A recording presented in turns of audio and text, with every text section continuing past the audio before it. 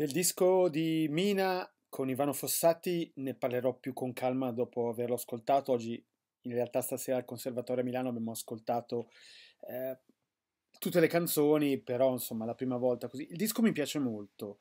Eh, ho l'impressione di un disco di Fossati nel quale Mina si è calata eh, come se fosse la sorella di Fossati. Molto interessante la conferenza, è sempre un grande privilegio poterla condividere con voi. Sapete che io faccio questo, questa battaglia per darvi le conferenze così come sono. Eh, intanto ascoltate Ivano Fossati perché è numero uno.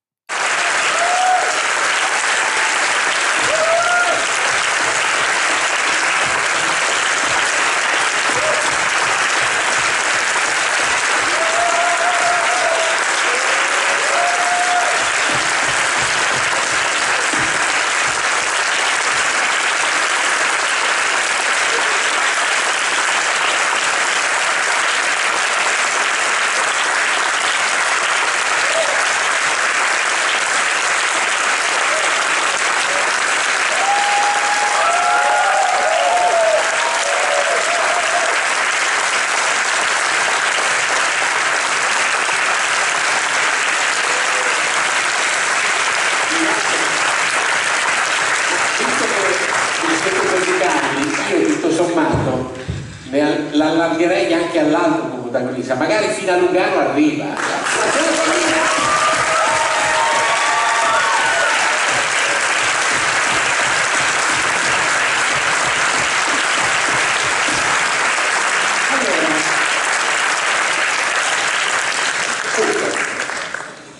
Eh, dopo otto anni di, di, lavoro che io definirei in ordine sparso, mettiamola così, nel senso di eh, dire, hai scritto diversi pezzi per altri e, e altre esperienze varie, arrivano questi 11, 11, 11 pezzi nuovi, tutti insieme.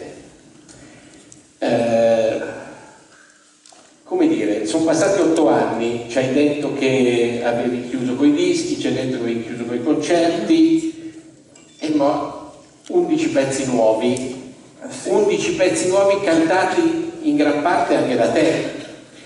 Eh, così, senza, senza, senza dire altre... Cosa vuol dire? Non è che vuol dire che... Ma allora, innanzitutto in quegli otto anni c'era una sola volontà principale, che era quella dell'ozio.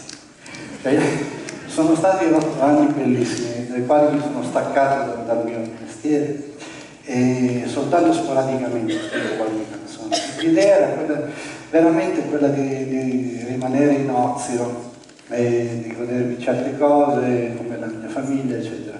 E credo che davvero, senza nessuna esagerazione, l'unica persona che poteva riportarmi in uno studio di registrazione era, era Mina. Credo che nessun altro.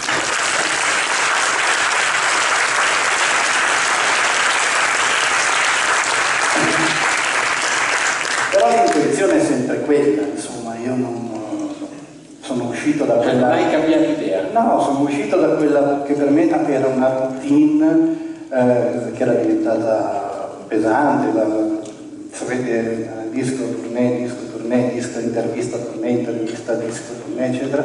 L'ho fatto per 42 anni, 42 anni potete immaginare quanto sono lunghi.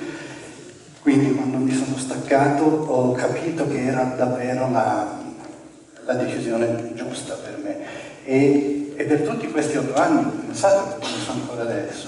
Quindi questa per me è un'eccezione ed è un, eh, io l'ho definita una gioia, una gioia che non mi sarei mai negata, quella di lavorare insieme a Mina.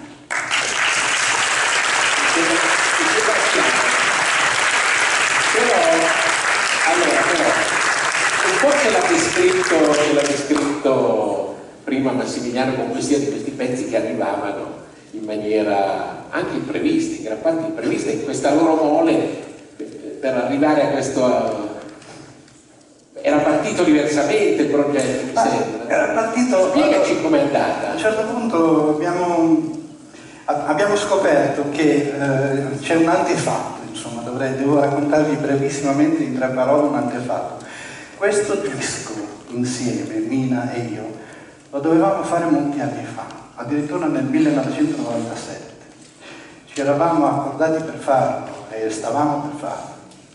Poi qualcosa nell'ambito delle case discografiche non andò per il verso e io eh, ho scoperto due anni fa che eh, lei ancora pensava a questa idea, a questo progetto e a questa, a questa idea di fare un disco insieme. Io non, non immaginavo che, nemmeno che se lo ricordasse.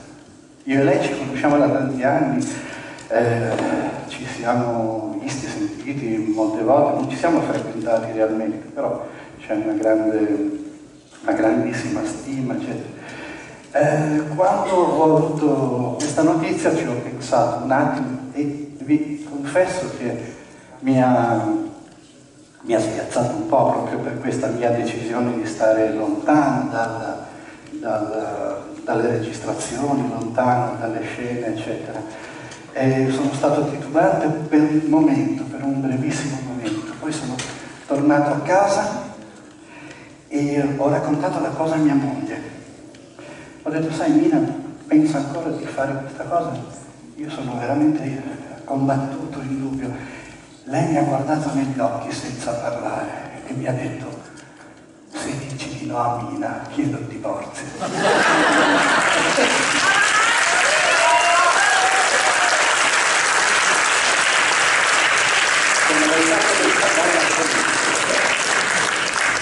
andata veramente. L'ultima cosa poi eh, apro la possibilità ai colleghi di farti domande. L'ultima cosa, però velaci un po' com'è cantare con Mina, perché alla fine abbiamo sentito un catalogo pazzesco di questo tipo. Lei da sola, tu da solo, voi in coppia, voi eh, a fare le doppie voci, voi all'unisono, voi a giocare in coda ai pezzi, a fare delle piccole voci nascoste. Spiegaci. Guarda, ehm, lavorare con lei, allora bisogna avere una, forse una diversa idea di quello che è questa grandissima artista. Cioè noi tutti abbiamo eh, dentro di noi radicata l'idea che sia una grandissima cantante. Quando pensiamo a lei pensiamo a questo fatto. La verità è che lavorare con lei è lavorare con una grande musicista. Mina non è soltanto una grande cantante, dietro ad ogni parola, dietro ad ogni parola che canta, c'è sempre il pensiero.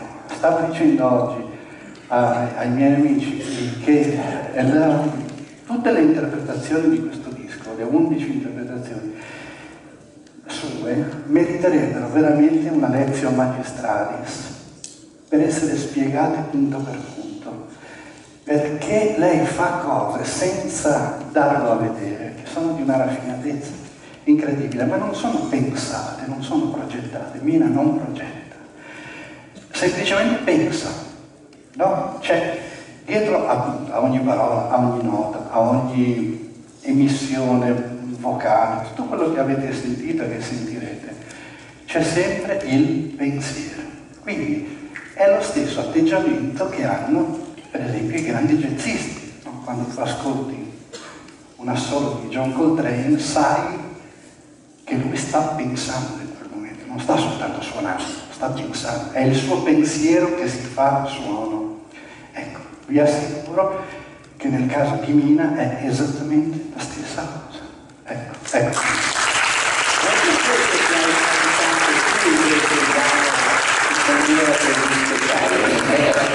Insomma, io lo so dove Massimiliano. Io lo so dove vuoi arrivare tu. Hai cantato dove vuoi arrivare. Non è vero che l'ha cantato meravigliosamente, Ivano La vostra è scattata è scattata. Io so dove vuole arrivare questa serpe velenosa. Vuole arrivare a farmi dire che quando eh, hai per contrattare una, una, una cantante con, con quella non tecnica, perché non, non, si tratta di... La tecnica è incredibile, la tecnica di Mina, ma non ne fa uso, è espressività. Quando hai che contrattare lei, ovviamente fai il tuo meglio, no? Io, io ho fatto delle tracce, a volte ho cantato delle tracce, eccetera, la sua voce non c'era ancora. Dopodiché è arrivata la sua voce, oppure abbiamo fatto il resto, ma è arrivata la sua voce e la mia, appena l'ho riascoltata, no, io questa la devo cantare, assolutamente. Cioè, quindi si creava una specie di, non di gara, ma una, un migliorarsi da parte mia, non da parte sua. Da parte sua, anzi, una volta c'è stato, c'è stato un episodio, sulla terza traccia, quella che si intitola L'Arno, ehm, Massimiliano Pani aveva preparato questo andamento, questo, questo R&B bellissimo che io non mi aspettavo, che era veramente un, un modo di vedere la canzone geniale. E, dopodiché io ero a Genova in quei giorni e Mina mi chiama e mi dice sai ho provato su quella, su quella base, ho provato ad appoggiare una voce, però dai canto, eh. Ah, eh, prova a sentirla, l'ho fatto per prova e mi manda quella che avete sentito. E io l'ho richiamato dicendo se la vuoi ricantare devi passare sul mio canale. e, alla fine si è convinta, non subito, ma si è convinta. Abbiamo lasciato questo. E, è così lavorare con lei. Allora, eh, io non devo assolutamente svelare niente di Mina, se non che, eh, questo si può dire, a parte tutte le meraviglie sulla, sulla sua, sull'enorme potenziale artistico che comunque sappiamo che nessuno deve spiegare, è una persona adorabile e questo lo posso dire.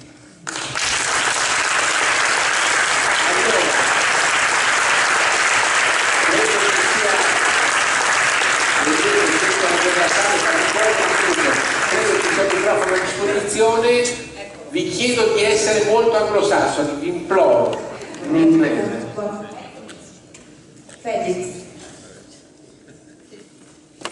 Quello che mi colpisce nei racconti di Massimiliano Duo è che da tutto quello che la vita di Mina è il fatto che lei non sente il sacro fuoco dell'arte, cioè tutto scorre con grande semplicità, fluisce e mi domando se questo sia vero perché c'è molta leggenda su di lei. Ma guarda, ehm, no, secondo me invece c'è una profondità, eh, è quello che stavo dicendo poco fa, ehm, il pensiero no? a cui ho potuto stare vicino in questi quasi due anni, capire che eh, dietro a ogni cosa che fa, a ogni cosa che decide e a ogni cosa che canta ovviamente, c'è sempre un pensiero che si può definire, che dobbiamo definire netto, pensiero netto. Eh, Mina è sempre, allora, intanto nelle, sue, nelle, nelle cose che ti propone, è spiazzante sempre. No, tu credi che sia vicino a te, invece è un chilometro più avanti o un chilometro più di lato. No? Fra noi due c'è un rapporto di completa fiducia ed è, que- su questo si basa il lavoro che avete sentito, completa fiducia. Lei si fida molto di me, io mi fido molto di lei, non certo della sua capacità, quello sarebbe un paradosso, è evidente, mi fido delle sue scelte, che a volte, ripeto, sono spiazzanti, ma è diventata una specie di barzelletta fra noi due. Io le dico sempre, tu eh, hai ragione otto volte su e lei ovviamente minimizza, no? No, è difficilissimo fare un complimento a Mina, molto difficile, perché minimizza. Ehm, quindi io mi fido di lei in questo senso. E, e, e per rispondere in maniera definitiva alla domanda tua Mario, ehm, no, io invece credo che ci sia molto, molto pensiero dietro a tutto quello che fa. Il resto è trattenersi il resto è non mostrare, il resto è non fare cadere dall'alto mai le sue decisioni, la, la sua arte, mai dall'alto. Eh, però bisogna starle vicino. Anche domande?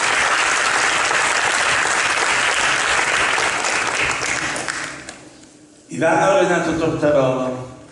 Come tutti i genovesi io sono molto diffidente, non mi fermo alle prime impressioni.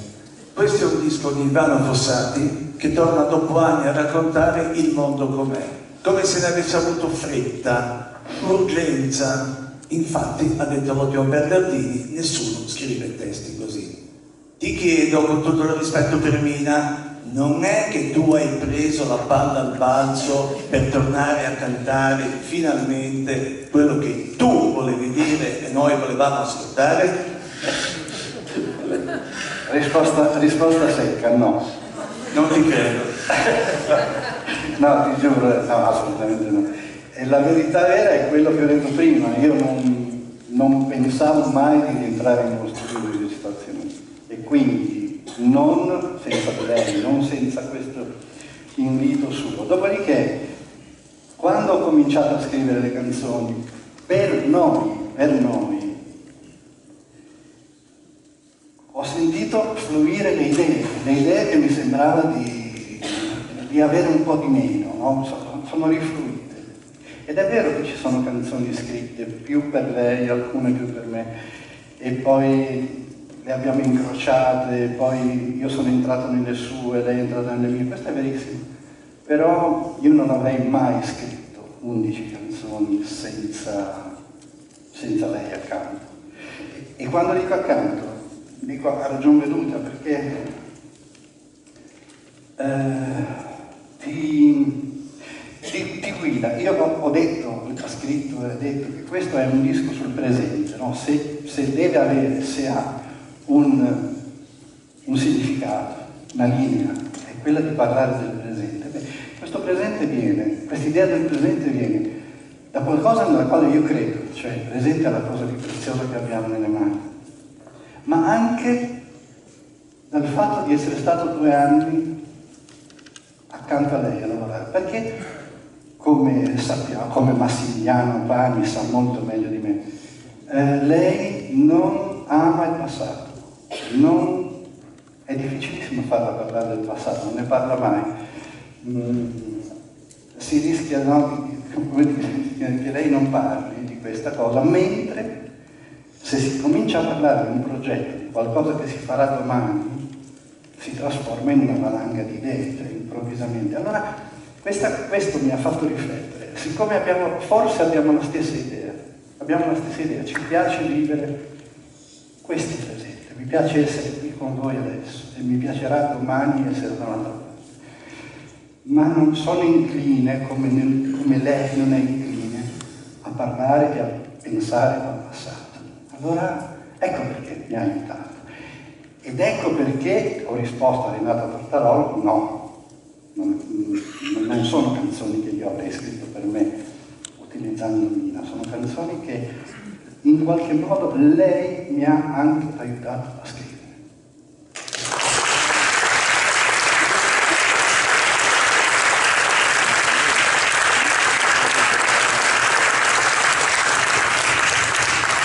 Eccomi, sono qua, sono Paolo Giordano. Eh, due domande, una di seguito all'altra. Eh, una, no, se... una, per favore, è una regola, una. Impariamo questa regola, una domanda. Allora, una, una domanda di Ne toglie una al collega, quindi una. Una domanda di due. Semplicemente la spiegazione del testo eh, sulla guerra fredda. Cioè il testo guerra fredda, dici la guerra fredda ormai fuori moda e vorrei capire perché non ho capito benissimo il, diciamo, il, lo scorrere delle, dei versi, lo scorrere delle parole. Una sola domanda, visto? Allora, allora il, il senso di quella canzone è come dire, lo scoprire lentamente che si passa da una situazione privata, una storia d'amore privata, a un pensiero più ampio, più alto. A un certo punto, e questo pensiero più alto è parlare del perdono. Si può parlare del perdono fra, fra due persone che si amano, che si sono amate, ma è molto più importante se qualche parola qualche verso, qualche parola ci fa pensare che quelle due persone stanno anche considerando il perdono in un senso più ampio, no? Non è, la, non è solo la, guerra fredda che è finita, eh, si sono raffreddati certamente i rapporti fra i due protagonisti, ma c'è qualcosa di più e io spero che nella canzone passi questa idea che loro in qualche modo, cioè loro, che poi in realtà siamo noi, i due, i due interpreti, stiamo parlando di un perdono più alto. All'inizio no, quando la canzone inizia no, è privata, poi lentamente il tema si sposta.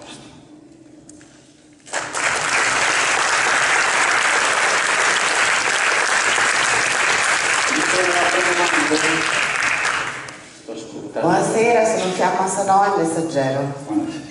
Io proprio una domanda sull'amore, perché alla fine in questo album c'è tanto presente, c'è l'amore privato, l'amore universale, ma che differenza c'è tra l'amore del poeta e quello dell'uomo, quello raccontato in canzoni, in contrappunti e delicatezze, quello dell'uomo Fossati, che è stato tante volte chiamato eh, in causa sull'amore nel mondo reale, artiste reali, per esempio, due casi di cronaca anche recente mi riferisco. Io sono stato chiamato in causa molte volte questo tema come se fossi uno che ci capisce qualcosa.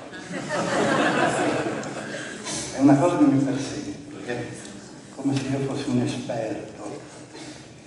La verità è che per scrivere delle canzoni d'amore, canzoni d'amore si può dire perché non è spregiativo. È, è, un, è, un, modo, è un modo di comunicare, è un modo di scrivere. Si può scrivere non capendoci niente. Io, mi credete se vi dico, io ho 68 anni e non ci ho capito niente. Non lo so, non lo so.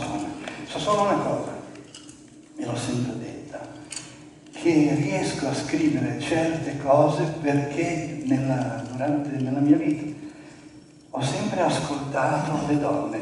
Allora, calma, ascoltato. le ho, sempre ascoltate sul serio, eh, questa è la differenza. No? La differenza è tra fingere di ascoltare e ascoltare sul serio. Allora, tante volte eh, i nostri colleghi mi chiedono, ah ma tu cadi spesso in qualche modo anche nel, nei, nei, modi femminili, nell'universo femminile. Non è vero, io non ci capisco niente, lo dico per la terza volta. Però, però ho parlato tanto e ancora più importante, ho ascoltato tanto, ascoltato tanto. Ma non soltanto dalle persone con cui avevo dei rapporti sentimentali, sia ben chiaro, da tutti anche dalle amiche. Io sono felice di parlare con le donne anche quando sono le amiche di mia mamma, le sto a sentire e l'ho sempre fatto, lo facevo da ragazzo e lo faccio ancora adesso. Ecco, vi la do.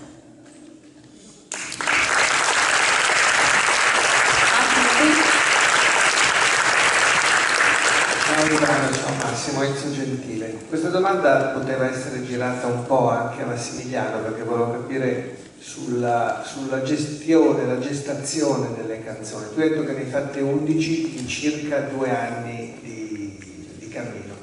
Allora, su una persona così esigente, così selettiva come Mina, viene da pensare che non siano state tutte buone alla prima, cioè, quindi volevo capire quanta elaborazione, quanto hai buttato via, quanto è intervenuta sulla musica piuttosto che sui testi, visto che è vero che canta bene qualsiasi cosa, però deve starle molto addosso, quindi quel vestito, quella stoffa di cui parlava Massimiliano, voglio capire quanta ne è rimasta da parte, quanta ne è buttata via, non ci dirai se poi le utilizzerai di nuovo. Insomma, è difficile pensare che siano 11 calciatori, anche nelle squadre di calcio, dalla panchina se ne alzano tre almeno.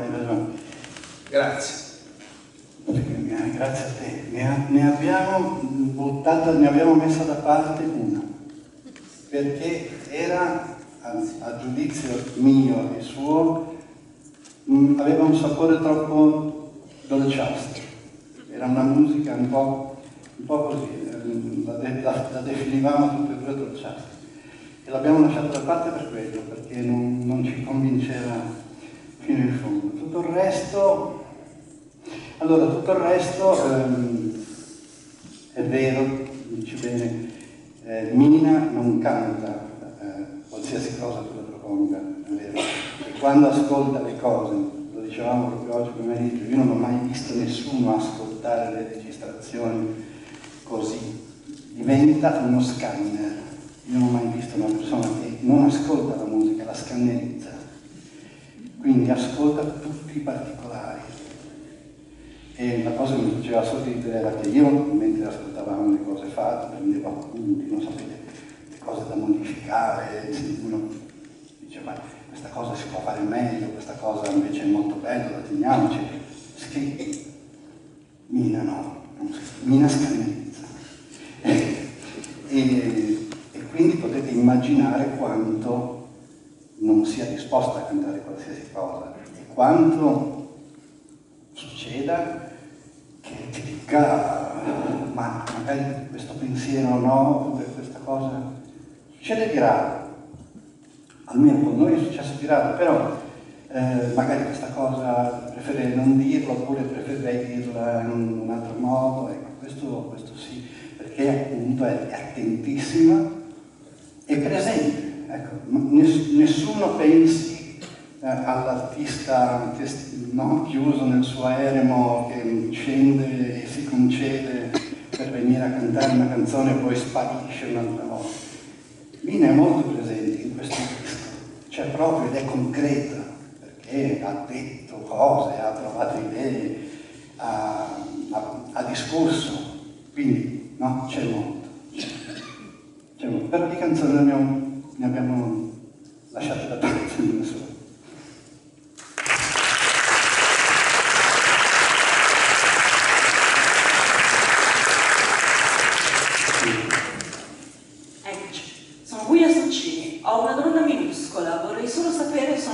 Non ti vedo, scusa. A tua destra, a tua destra in basso. Ah, ecco perché non ti vedo. Vorrei solo sapere se la carrettera di Tex-Mex è la stessa di Non sono una signora. potrebbe, sì, potrebbe. Io, mm, come dire, ho il vezzo di, legittimo di pensare che sia un'altra, cioè almeno nella, nella, nella, nella, nella intera di carrettere ne puoi scrivere anche due. Insomma, non è detto che devi passare sempre sulla stessa storia sì, qualcuno, qualcuno poi me lo dirà. Eh, ma d'altro canto, insomma, questo, questa canzone questa canzone sogno me la immaginavo in un posto come il New Mexico, un posto del genere, no? e, e, mi immaginavo questa pista polverosa, eccetera. E, e, quindi ho detto, sì, va bene, certo, è una parola che l'ho già usata, già usata, ma accidenti, era il 1982.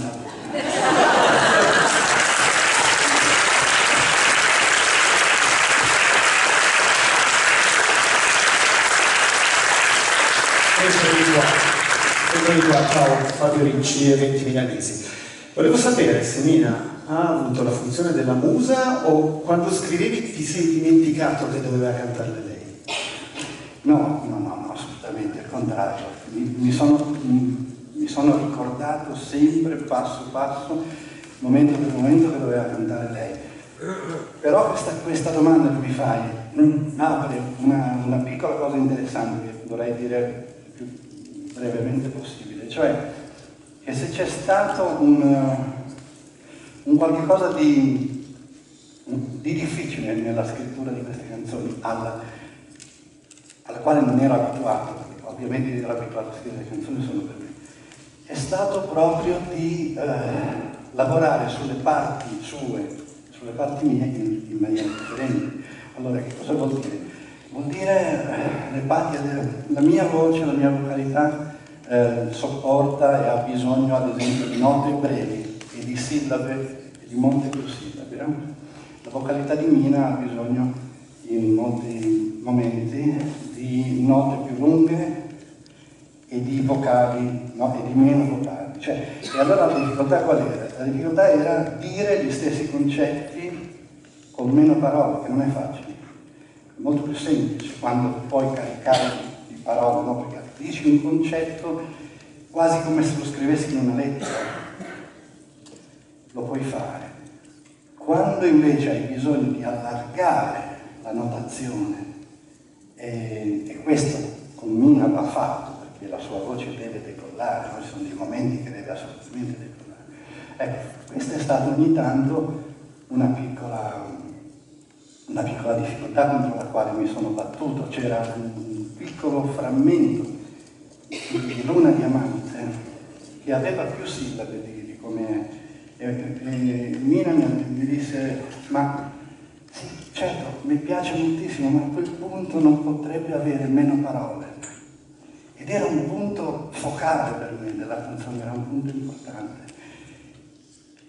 E io, poi lei ha un modo di dirti le cose, che è questo in sostanza. Ehm, potresti magari scriverlo con delle note più lunghe, con delle cose, ma non ti preoccupare, se non vuoi io la canto così. È una cosa che ti inchioda al mondo. Cioè, una delle più grandi cantanti al mondo. È di una gentilezza. In questo modo, dicendomi lei così queste parole, io sono rimasto alzato due notti. Finché non sono riuscito a mettere a posto quel passaggio dicendo con meno parole, meno sillabe, con, meno, con note più lunghe, la stessa identica cosa. Ecco cosa succede a scrivere per due persone.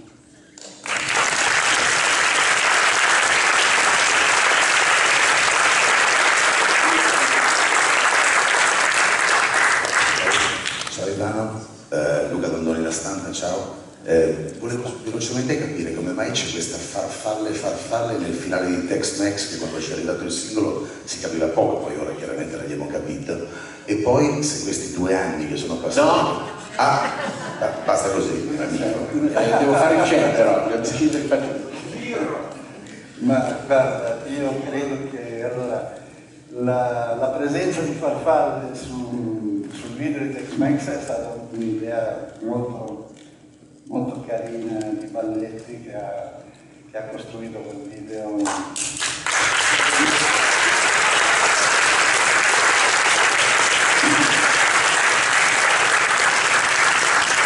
un certo punto, a un certo punto il tempo, no?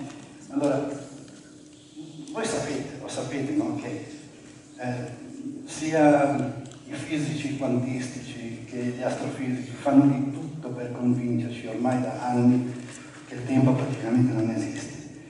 E quelli duri di comprendonio come me non capiscono, no?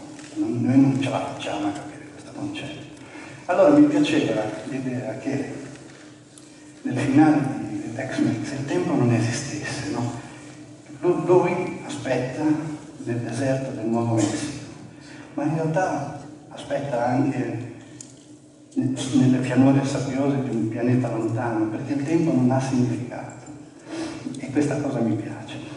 In più accade questa piccola cosa, c'è questo anello che lo lega ancora a qualche cosa di terreno, e questi due astronautini buffi che cantano, che cantano farfalle, ma lo cantano per un attimo perché la pila finisce e secondo me Barretti è stato geniale.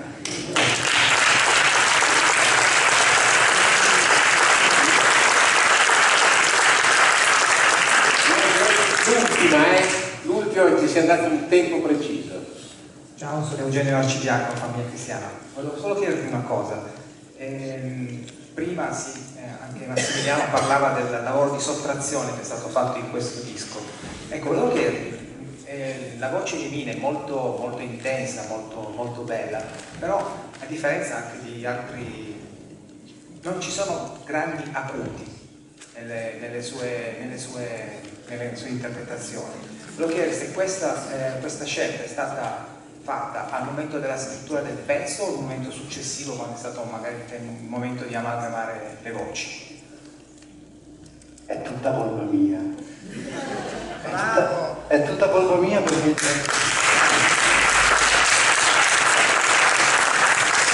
No, fatemi, fatemi- dire, è tutta colpa mia perché gli acuti non li ho scritti. Non li ho scritti perché, ma non lo so perché, intanto perché evidentemente io sono abituato a scrivere per me e la parola, ho una voce che ho la parola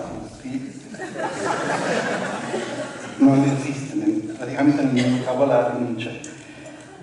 Quindi a un certo punto sì, ho fatto delle cose, ad esempio eh, c'è una canzone che si chiama Meraviglioso, tutto qui, nella seconda parte lei prende una nota veramente di quelle spaziali e non è casuale, cioè mi piaceva che fosse così, mi piaceva scrivere così per lei, però per tutto il momento di scrittura del disco non mi sono mai posto il problema di, come dire, di mettere Mina alla prova, non lo so cosa può fare.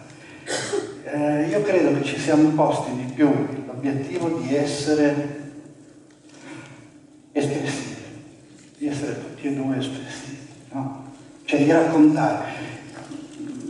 Di, entrambi raccontiamo. Io infatti ne ho parlato con lei all'inizio, ehm, quando discutevamo per esempio su alcuni passaggi dei testi, ogni tanto eh, Mina mi diceva ma io non so se faccio bene a dire questa cosa in questo modo. Io le ricordavo, guarda che noi siamo soltanto gli interpreti, noi siamo due attori, non siamo quelli lì, no? Non siamo quelli lì che alla domenica mattina litigano, tafferugliano, poi l'autobus non passa. Non siamo loro, noi siamo gli attori.